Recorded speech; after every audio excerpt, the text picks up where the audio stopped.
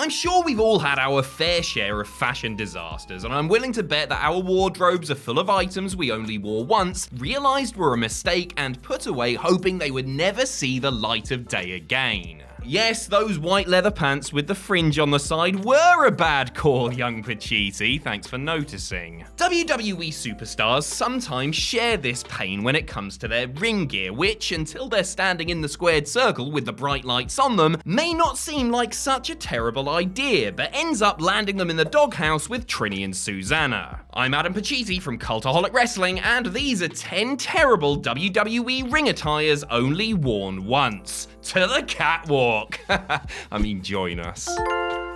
Number 10, The Undertaker's snakeskin trousers. The Undertaker has always clearly prided himself on the attention to detail he plays to his character, and that includes his ring gear. The man must have spent a small fortune on his elaborate threads during his career, with all manner of tights, singlets, hats, gloves, coats, and bat wings? Alright, sure, and Batwings being commissioned for his performance. His look is one of the most iconic in the industry, though he is not immune to getting it very wrong. As The Undertaker morphed from the Dark Overlord of the Ministry of Darkness era into the American Badass in 2000, he began to experiment with his changed up look. Dropping the supernatural element meant that he could wear jeans, bandanas, leather vests, and other redneck staples, but he could not pull off snakeskin pants. To be fair to the Phenom, he didn't intend to wear these jarring eyesores for his WWE title showdown with Kurt Angle at the 2000 Survivor Series. As the story goes, the airline lost Taker's gear, and needing something to work in, he borrowed his pal the Godfather's actual pants. Wouldn't life just be so much easier if we all had a pimp to bail us out of tricky situations? Number 9. John Cena's jeans. You wake up and the sky is green. Fish are flying and birds are swimming. The purple sun is blazing, but it's freezing cold outside, and when you go to speak, the only sound that comes out is a cat's meow. The world as you know it is upside down, and John Cena is wrestling in full length jeans. Yes, the man known for making jorts cool, arguable, once performed in a high profile match wearing denim down to his ankles. In early 2003, Cena was just finding his way as the Doctor of Thuganomics, a relatively new gimmick that was credited with taking Cena off the chopping block. He experimented with different outfit choices, including red basketball type shorts and some khaki deals, which he would always wear with traditional wrestling boots as he had a year to move on to his trademark sneakers. In the 2003 Royal Rumble, Cena entered at number 18, rapping his way to the ring wearing a Houston Astros top in order to antagonize his hometown Boston crowd, and I kid you not, honest to God, full length jeans. For Bella's sake, John, don't even think about hiding those juicy calves ever again. Number 8, The Bad Guys Long Boys.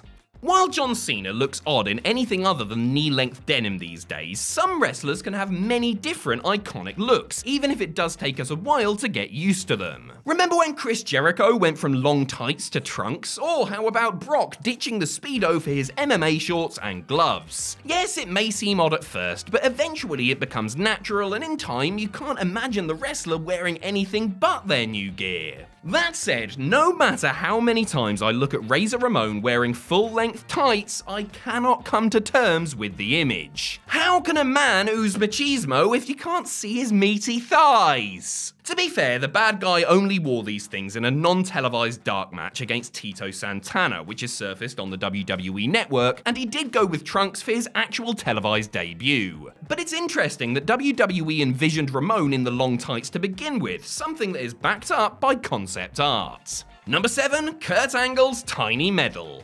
Kurt Angle always looked the business in his custom-made singlets, of which he commissioned hundreds over the course of his long and illustrious career. Typically in various shades of red, white, blue, black and gold, and coming in all sorts of styles and patterns, Angle's gear harkened back to his amateur roots and fit his persona as the American hero to a T. Some were, naturally, a bit better than others, but whomever made them clearly always, at the very least, put in the effort and tried to do something unique. Well, almost always. On the February 19th, 2004 episode of SmackDown, Angle dressed for his tag team match with John Cena, wearing jean shorts, thank Bella, against the Basham brothers in something that looked decidedly unfinished. The sparkly red number had a gold medal with a letter A stitched onto it, and the word gold in, um, gold slapped onto his Olympic ass. It was either a rushed job or a concept that wasn't fully realised, but whatever the case may be, Kurt shelved it immediately after. Number 6.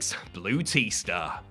Batista's 2014 comeback did not go exactly according to plan. First, his big Royal Rumble win was spoiled because he wasn't Daniel Bryan, and then he failed to capture the WWE Heavyweight title as promised to him at WrestleMania because of the unstoppable Yes movements. Things finally started to click when he reformed Evolution with Triple H and Randy Orton in order to battle the Shield in a series of absolute bangers. While the Animal, the Game, and the Viper stole the show against the Hounds of Justice in Batista's last match of that particular run, many fans weren't talking about the quality of the bout after after. They were talking about Big Dave's tiny blue pants. Yes, the infamous Blue Tista, which turned the match of the year contender into a meme. Look, Batista had worn blue on occasion before, notably against Triple H at Backlash 2005, but never a shade so light and never with matching boots, shin guards, and compression sleeves. He looked really out of place next to everyone else in the match as they were all wearing black, and fans picked up on it chanting Blue Tista at him while the new nickname also trended on Twitter. Number 5, Bret Hart's pink singlets. Similar to Kurt Angle, Bret Hart had an iconic look that primarily used the same three colours, with a little variation here and there. The pink and black attack style was boots, long tights, and a singlet slash vest, with his gear often adorned with little hearts or skulls. Bret's gear evolved and became more elaborate over the years, and sometimes his attire would rely on more than one particular colour as opposed to being an even mix. At the 1993 Survivor Series, however, not only did the Hitman go big on the bright pink, but he left his trousers trousers at home to boot. Yes, the excellence of Execution's legs were on show for the first time since he ditched wearing trunks in the mid 80s. This was done so that he matched his brothers Owen, Keith, and Smith as they went into battle against Shawn Michaels and his Knights. But it just looked weird. Sexy, yes, but unmistakably weird. I'm pretty sure the singlet showed up again in the future, only with Bret wearing his long tights over the top of it. Number 4, Anarchist Daniel Bryan. Daniel Bryan has worn some outlandish pieces of gear over the years, from his furry boots at WrestleMania 30 to his eco-inspired outfits while he reigned as the planet's champion. That said, his most eye-catching ensemble ever was a big departure from his usual at the time and was only used once because Vince McMahon himself personally hated it. The outfit was a new style of trunks and kick pads that he wore for his great match with CM Punk at the 2012 Money in the Bank pay-per-view. They were black and green and had anarchist-inspired DB letters on them that looked like they were written in blood. He came to the ring wearing a matching coat, and if you didn't know any better, you would assume that this was D. Bry going in a completely new gimmick direction. According to Bryan's autobiography, he received instructions via the referee, who was told through his earpiece by the WWE CEO that he despised the jacket and that he was to remove it immediately. Bryan, anticipating that WWE wouldn't approve the new gear, hid it from them right up until bell time. Number 3, Curtis Axel Singlets. Curtis Axel is the son of a WWE Hall of Famer who was one of the best talents of his generation.